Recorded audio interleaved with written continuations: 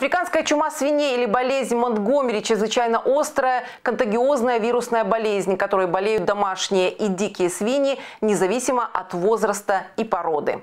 Спасатели отмечают, на территории Украины проявление чумы свиней зафиксировано в пяти областях. В настоящее время не существует вакцин и медикаментов против данной болезни, поэтому лечить больных животных запрещено. Единственным решением является сжигание поголовья. На сегодняшний день необходимо минимизировать доступ посторонних лиц в хозяйство, обеспечить обязательную систему контроля за движением поголовья и за правильностью кормления и системы поступления кормов. Также обязательно в каждом хозяйстве должны быть средства дезинфекции, способствующие четкой системе биологической безопасности хозяйств всех уровней. В данный момент проводится разъяснительная и информационно-профилактическая работа среди населения.